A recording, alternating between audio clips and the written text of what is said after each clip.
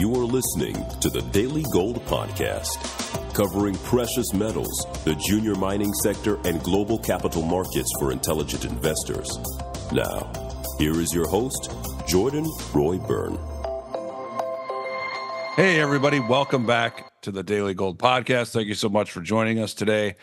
Uh, first time uh, we've done a podcast in a while, or a little while, I should say. Hope everyone had a great new year. Hope everyone is uh, doing all right so far here in January. A little bit of a tough uh, market for gold and gold bugs. Uh, here to talk about it is one of my favorites, one of your favorites. He is Vince Lanci. He writes the Gold Fix. You can find that on Substack. Vince is part of Echo Bay Futures. He's also an adjunct professor at UConn. So, uh, Professor Lanci, I know you just love that title. Uh, yeah. I know there's a couple things that we're going to talk about with respect to gold. Uh, first things first, I know you want to dive in to what happened um, at the very end of November. Right. I believe that that Sunday night or Monday morning, if you're overseas, when gold made its peak. We're gonna we're gonna talk about that. Also, what happened uh, at the beginning of this month uh, because this is important because gold both times in position to really gain some momentum, breaking past important levels. But I mean, it was it was really quashed at the end of November. So to tell us how this all got started, what happened then? You know, we saw gold trade above twenty one hundred, and then it just had this nasty reversal in less than twenty four hours. Yeah, um, uh, I, mean, the, the, I mean, we talked about this beforehand, but you know, the tone for the last month since December seems like it was set in December third. Um, look, you and I had talked several times uh, going into the November 30th close, and I kept peppering you.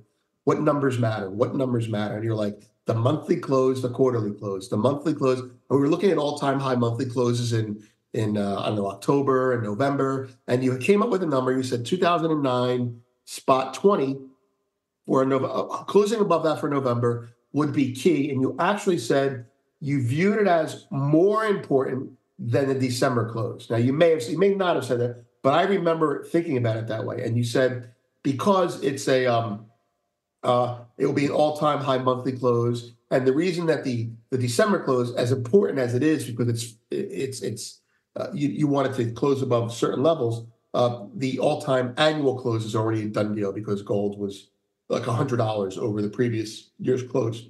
Okay, so here's what happened. Going into that, our last conversation, you said to me, November 30th close is key, and we talked about why.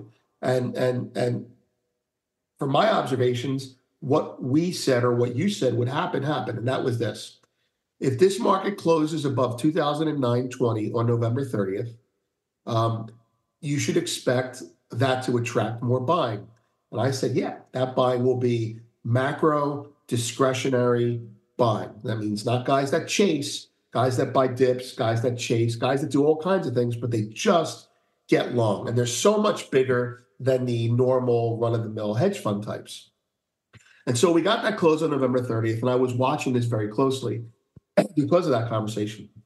And talked to a couple people in China, China retail demand was off the charts. People are just, you know, buying physical everywhere. And that means the Chinese banks are going to be buyers in the futures market and the PBOC. So, you, so you had the November 30th close, which which which raises awareness. You had the Chinese demand that weekend, right? And what's the other thing we discussed? The other thing was, um, oh yeah, the other thing is there was I I, I heard there was a uh, um, a sovereign wealth fund that was interested in buying gold after that because a sovereign wealth fund frequently operates like a macro discretionary fund. And so I remember saying to my subscribers, that Sunday, they always ask me what I think the market's going to do Sunday night. And I said, the market will gap higher. It could be like by a tick, I said. I wasn't trying to be bullish. The market will gap higher from all this demand this weekend. Let's see what happens after that.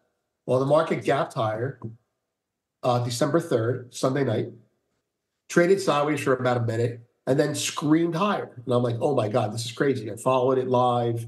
Um, this is crazy. Uh, macro discretionary is going, you know, I can't believe they're letting this happen, you know. And uh, sure enough, it stopped and got squashed down in 30 minutes And that moment, I believe, there was like a planetary alignment that overwhelmed uh, the market, and it just you know like putting two tons of shit in a in a one ton bag, uh, the market exploded higher, and then and then I think people that are interested in orderly markets, and I don't necessarily mean that in a conspiratorial way, people that want orderly markets that don't want problems like the Bank of International Settlements, they were probably called in and said, "Hey, gold's too high, too fast," and they made it calm that night because gold's really not a big market for all the money that's out there. So what happened since then? Well, since then, you know, and this is what you've been all over. December 31st, December 30th, whatever that day is, the end of the year close is a non-event, and the market since then has been. Uh, uh, people are scared to sell it short, but I feel like the impetus to buy it aggressively has gone away, and so I think that's where we are now, we're we're, we're continuing to see the after effect of that night manifest in a market that uh, in the past, oh, it's not going up, let's sell it short. Well, they're not selling it short this time, but they ain't buying it anymore either. So it's kind of like we're miserable with gold above 2000. So I don't know whether to be, you know, happy or sad, but that's that's how we got to this place that we're talking about. You know, that's that's where we are. Hope that answers your question. Yes, it does. So, I mean, more recently, I mean, you're effectively answering, despite the fact at the end of December, I mean, we had a, a record yearly close, another record monthly close, you know, a, a, a great quarterly close. Yeah. I mean, despite it, just it produced no upside momentum. So the the buy the you know no buying, but at the same time, those same people they're not shorting. Yeah, I think, you know, I mean, come on. You got a market that's closing at all time highs in November, and then it's got, what did you say? You said uh, quarterly, annually, monthly all time high closes, something yes. like that? Yes. Right? Well, that's supposed to bring in buying. That's supposed to bring in, oh, I mean, if it was GME, if it was AMC, Christ, if it was the NASDAQ, it would be up 50 handles the next day. Where's gold? Unchanged.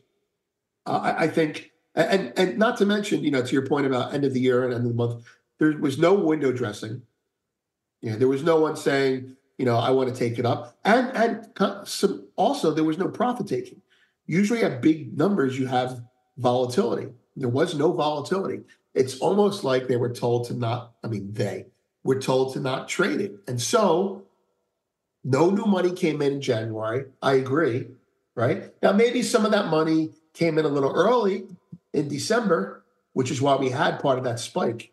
But to tell me that nobody cares about gold, you know, after those closes in November and December, that's you know that's you, you got to be brain damaged. And I just feel like there's there's a a cap on this market, uh, and I mean that, and I mean that not paranoid. Cap in the sense that, well, geez, we're at all time highs now. I don't want to buy it here. The election's coming up. Let's see what the election brings. Meanwhile, at the same time, you still got China buying underneath. So nobody's got the guts to sell it anymore. And I'm talking to the bullion banks. They don't have the guts to sell this anymore like they used to. So, yeah, you're right. So, what I mean, mo- moving forward, you know, for the rest of the year, at least the next couple months, what are the factors that you're looking at? I mean, potential bullish factors versus potential mm bearish factors? I know we we've touched on many beforehand, but well, um, I mean, there, there are several, but I think the one that that's probably the most relevant right now. We can talk about the election, and we can talk about this big picture stuff that I like to talk about. But I think the stuff that's uh, first in line has to be has to be. Uh, look, I've told you that there's Chinese buying. Yes, Chinese New Year is coming. Everyone knows about it. And that buying is literally in the market right underneath between 2000 and 2009. And there's probably buying underneath that as well as they scale in. But the market's not running away from it. So that makes me nervous. But the market's not filling it and going under. So that makes me comfortable. Now, putting those two things together, I look at gold and I say, gold sucks for trading, but it's doing well. And then new all-time highs in stocks, new all-time highs in stocks, new all-time highs in stocks. And I go, what the hell's going on? Well, everyone thinks the Fed's going to ease. Maybe they don't think it as much as they did a week ago, but everyone thinks the Fed's going to ease. And when that happens, stocks and gold rally. Gold's not rallying. So I'm a little concerned uh, that if the Fed doesn't ease or make a statement like that, then the bears will be comfortable selling gold below 2000 again. I mean, the, the stock gold relationship, which is something that you focus on very closely, um, come on, stocks can't be going up because of interest rates coming down unless gold's going with them. So that makes me kind of nervous about gold and stocks primarily. Yeah, well, I mean, on, on the technical side, we have the you know, gold against the S and P 500 ratio. That ratio has broken down. Um, at least as of last week, it was at a 17 month low. So that's that's favoring more upside in the stock market against gold. But interestingly, Vince, I mean, we talked about it beforehand. I was looking at something. If we look at the last nine years or so, what has happened in the last week or two with the stock market? That is now the fourth time that the stock market has reached a new high or broken to a new high after correcting, consolidating for, you know, whether it's two years, 18 months, 15 months, whatever. So this is the fourth time that has happened, basically in the last 10 years. Now, two of the other three times when that happened, they were p- important peaks in the gold market. The first was in the middle of 2016, you know, right when gold gold had that big move starting at the end of January 2016. Then it peaked around 1375 in the summer. Stock market then it broke out from a consolidation correction since the beginning of 2015. Then you go back to COVID and basically right after like days after the gold peak in August of 2020, the S&P broke above its February 2020 pre-COVID high. So you have that. And the other point in time was in 2019, which was a little messier, but you know, that proved to be really bullish for gold because the Fed was cutting rates. So that's and and, and so it's happened again. We're in the last week or so. The S and P has made a new all-time high for the first time in two years, and uh, you know that was just after gold rallied back and kind of retested uh, the all time high in weak fashion. So, what does that tell you with respect to where we are here and now and what the you know outcome could be? Well, as, as that technical backdrop implies, right? What did you say? Two of the last three were a top in gold, and one of the last three also coincided with a rate ease. Yes, that that that is when gold in summer of 2019 uh, broke away. It broke above 1375. So we want a repeat of 2019. We almost need the Fed to ease, based on what you're saying. You know, I mean, uh, geopolitical risk aside, it's not the same history. But in two of those three, that was a peak for gold. You're saying, right? And in one of those three, it wasn't. But in the one that it wasn't, the Fed was starting to ease. So it sounds like we should be hoping for an ease if we're bullish and uh, hoping for a non-ease if we're bearish, you know, and uh, uh, we have moved from, if you want to use the market's handicapping of the Fed's easing, and not my own opinion, uh, the market has moved from they're definitely easing in March to they're probably easing in March to they might ease in March, and that's happened in the last three weeks, and and this is what's kind of freaking me out, Jordan. In the last three weeks, I've seen that, you know, the short term interest rates, the STIRs, you know, going to ease in March, definitely, maybe, hopefully, not sure, right? That's where we are right now. And during those four times, stocks kept going up and gold has stagnated. So, so, uh, you know, this might be a tale of the stock market rising for different reasons, but uh, but I got to think that if the bond market goes up, stocks are going to go down. And so if the Fed does not ease, and they might not, it might be initially bearish for gold and stocks, and then bullish for gold later, but not right away. I think the the first hurdle we got to get through is is is this Fed meeting in March. I think you're right. So when you mean the bond market going up, are you talking about bond yields or oh, oh. bond um, prices? How's this? How's this? If you want to look at the bonds and stock market as a as a as a function of the Fed easing, if the Fed's going to ease, bonds should rally, yield should come in, and stocks should rally, right? But right now, the Fed, although it seems like they're going to ease, possibly stocks are rallying like they're definitely going to ease, and bonds are getting slammed. And bonds are getting slammed because of all the new supply coming out. And and you know, it, it's like a tale of two drivers. If you're buying gold because you think the Fed's going to ease, then I personally think, although the statistics say I'm wrong, I think you're a moron. You know, I think you're buying stocks, you're buying gold because you want it to be a stock. It's not. Gold is here because of uncertainty. And that uncertainty came in the bond market getting crapped on because the banks like SVB were having problems, because there's worries about the US credit. That's a risk off reason to own gold. The geopolitical uncertainty in Israel after Ukraine and the Middle East, you know, we're probably going to have a, a Korean war or a Taiwan war or a combo war. Like all those reasons are reasons to own gold. But to to to be a buyer of gold because you think interest rates are going to go lower, well, you may as well just buy stocks. You know. So anyway, so I, I guess what I'm saying is is right now to actually answer your question, stocks and bonds are diverging on their on their interpretation of what the Fed's going to do. So if the Fed's going to ease, why are bonds not rallying? Why are yields continually creeping up? And if the Fed is not going to ease, then why are stocks rallying? They should come off. So if you look at the two of those markets together, even they're confused. So I don't feel so bad about gold right now, is what I'm saying. Okay. Uh, but what I mean, think about the scenario where the Fed, the Fed easing. I I feel like there's a, a risk that's growing that the Fed cutting rates is going to get pushed out yeah, I think you're right. It's going to get pushed out, you know, farther and farther to later and later in the year. I, I, I think you're right. I think um, I think for whatever reason, the market took his statement a couple months ago was really dovish, and so everyone's like, he's going to cut in March. He's going to cut in March. Well, we're at all time highs. He's not going to cut in March. The right? markets are they're do, doing some easing for the Fed, you know, based on what they were saying.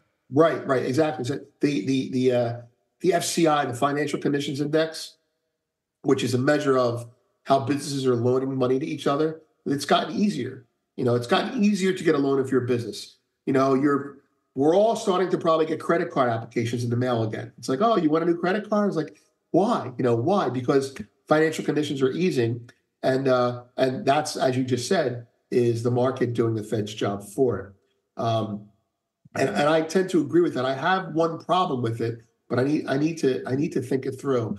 And that problem is if the financial conditions are easing, which they are, you're right. Why is the bond market not rallying with stocks? So maybe we should just be long bonds and long gold, meaning you know they both go up. Um, we should be long bonds and long gold as a hedge against bonds, uh, or we should be short stocks and long bonds because they need to converge. I'm being a little bit trader wonky well, here. Maybe I could I could jump in on bonds just a, a comment yeah, while yeah. you think that through. If you go back to, um, and I'm just talking about long term bonds, I use the 10 year yield. And this, I mean, you, and you also mentioned this in the long, you know, in the long run, you know, high interest rates went out basically. Right. And that's true. History bears that out multiple times. But if you look at just the 10 year yield in the S&P over the last couple years, the 27 or 28% decline in 22, the 10 year yield went from, I think it got up to, it went from like one and a half to 4% or something like that.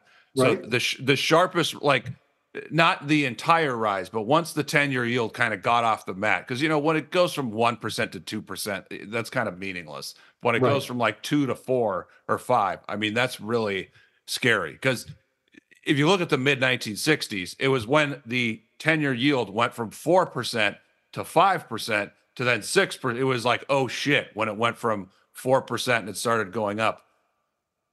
Okay, so the 10-year yield going up, it you know, it, along with the Fed tightening, caused that decline in 22.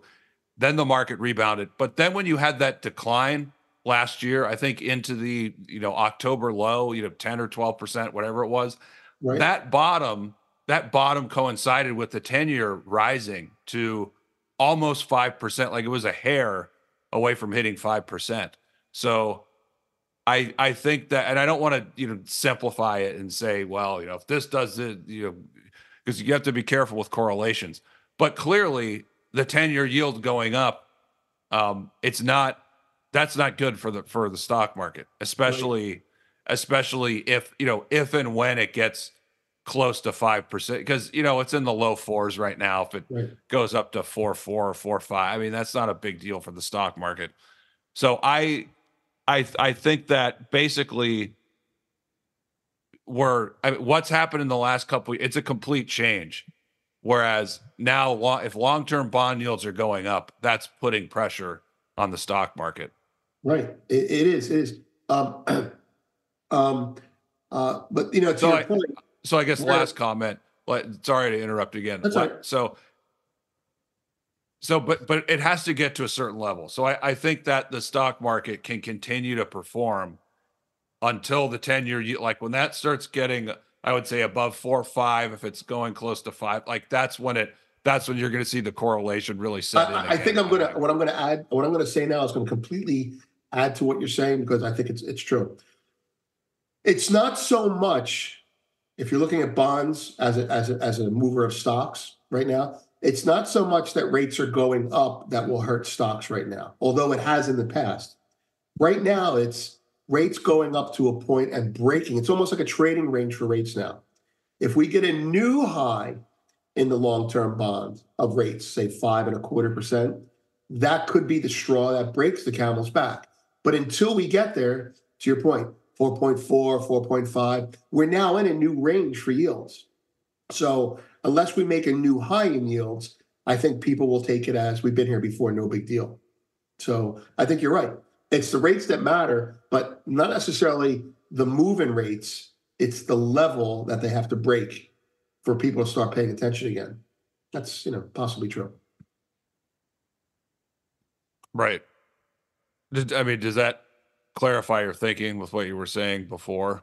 Oh, it totally does. Yeah, it does. It does. It's like I guess the cliche is rates don't matter until they matter, right? And it used to matter, you know, when they were moving off the lows, but now we've already weathered the first term, uh, the first storm of rates. And the reason we weathered it, as, a, as an aside, is the difference between now and those last times that happened is now we've got fiscal spending coming out the yin yang, you know, and and that money is going into the markets. So even with the Fed raising at five percent, and you see things breaking, you see certain industries not breaking, and those industries are getting the money that that's being given to them by the Treasury. So rates matter, and uh, uh, but they matter at higher levels now because there is money being printed. It's just not being printed by the Fed right now, and so that's. I guess what I'm saying is, unless earnings, I mean, speaking a little bit of a fundamentalist right now, the stock market is going up despite the fact that the Fed may probably not ease in March, may probably push it back later. That means the stock market is going up right now because it's still discounting all that fiscal money that's being created and put into the markets, which means if earnings start to disappoint, then we have a bubble. So there's my answer. My answer to myself talking to you is if rates get above a certain level, stocks are going to crap out gold will crap out and I'll buy it uh, with stocks, right? if if um, earnings start to come in shitty, and that means we have more inflation than we say, and all this the stock market's a bubble. I'm just going to sell everything. That's that's my trading plan right now for what it may for, for what it's worth tactically, you know. And then we have the election, and we can all cry about that. Yeah, but but and then the other, I mean, regarding the Fed and rates, I think that, and again, you, we can't just look at everything in a vacuum. But generally speaking, I think until long term until long term yields hit that you know point where they start breaking shit, then high, then higher rates are no Fed easing. That's better for for stocks relative to gold because we're the gold the gold to the S&P 5 you know that ratio that we talked that chart which is broken down to new 52 week lows that's in the face of the Fed of Fed easing getting pushed back. Right. right. So, so and and and it also may come back to you know, what I've been thinking for the last year or so that, um, you know, the the market could. I mean, potentially, you want to sell the market when they start cutting rates, basically, because with the way things are going now, the way it looks like, I mean, maybe a no landing economy. I know it's you know not good for us gold bugs, right. but uh, and that's like the Fed's you, you ha- the Fed doesn't have to cut. You know, they can just jawbone and e- ease by just jawboning periodically. If the mar- if the economy is going to be a no landing thing, then that that scenario of no cuts that's better for stocks versus gold. Whereas if some you know the things you're talking about, if if those actually force the Fed to have to do something, right? That's you know that's more bullish for gold than the stock market. I mean, look, I don't, I can't believe people think the Fed's going to cut. You know what I mean? Like, like banks were going under and they didn't cut. So it sounds like the Fed's really in control right now.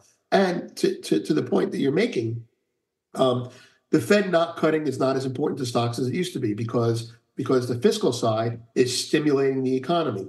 Unfortunately, the fiscal side is not buying gold, right? If they were, then gold would be going up with stocks. So there you have it. I mean, uh, if the Fed doesn't ease, that that's that's a reason to sell gold and stocks. But stocks have all that extra money coming in from the fiscal side, and that's keeping them buoyed. Uh, so yeah, that's it. I don't think the Fed's going to ease. I could be wrong, uh, but uh, and the other thing I'd say is miraculously, despite all the fiscal, um, you know, you've had no downturn. I mean, other than the statistical recession in 22, you've had no downturn in any of the economic indicators. I mean, it, you had all this fiscal and 9% inflation, but somehow, some way, I mean, I know it's caused a lot of pain for a lot of people, but you know, right. from the standpoint of looking at the capital markets, it hasn't, you know, the economic employment, income, all that shit. Uh, they haven't rolled. Nothing's rolled over yet.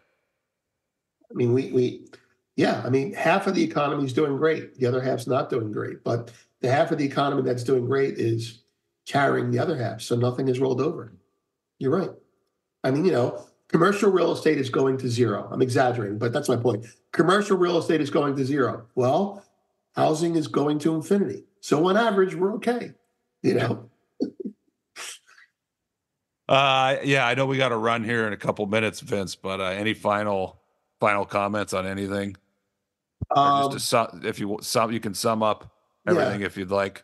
La- lacking any convincing uh, forces on the market, I'm uh, sometimes I'm violently neutral. Right now, I'm just neutral, neutral, and I think the market. I would be happy if this market remained above 2,000 for two months, uh, or maybe spiked below it and then recovered and went sideways. I would be happy with that.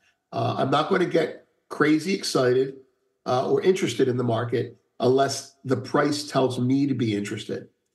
So I'm not going to try and force an opinion on the market when the market just doesn't give a shit about my opinion right now. You know, and so so so the, you got the Fed, right? You got the election ramp up, right? And then and then I think you know I think the next thing is you have the next sell season. If nothing else is going on, come August, gold starts to sell off. That's it. So between now and August, I'm flexible. Between August and October, I'm biased bearish. And from October through February, I'm next next year I'm biased bullish. So the election is going to be important this year, I think. All right. Thanks so much, Vince. As always, uh, we'll uh, have to talk about this again in the coming weeks or the coming months. Uh, can you can you give out uh, how people can follow sure, you sure. and subscribe to your Gold Fix? Yeah, the the Gold Fix uh, newsletter is something I started during COVID as a hobby, and it's actually become something that's quite legitimate now. We have a we have some very high level research and some commentary and conversations with people like yourself, as well as macroeconomic analysis. I'm going to give you a link. I gave you one before. I'll give it to you again. Uh, a link for anyone who comes through your site can get 30% off uh, for life uh, at the annual subscriber level. But um, I'd, I'd, encourage everyone to try it out and uh, at the free level, and then you'll have the link if they want to use it. They can use it. That's it. All righty, it's excellent. I'd encourage everyone to subscribe. Vince, thanks so much for coming on today. Really appreciate it, and uh, hope we can do this again the next month or so. We will. Hopefully, it'll be at twenty five hundred, not at fifteen hundred. Thank you for tuning in to the Daily Gold Podcast. For more interviews, editorials, and analysis, log on to thedailygold.com. And for premium coverage of precious metals and the best junior mining companies, visit thedailygold.com forward slash premium.